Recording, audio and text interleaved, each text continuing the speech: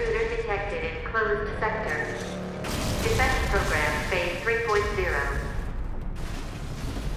Switching to termination mode.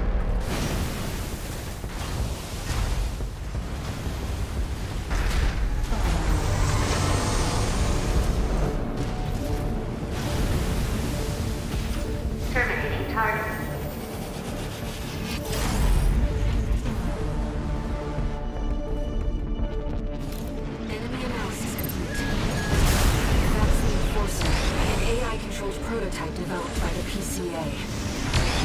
It was designed to defend key watchpoint sectors.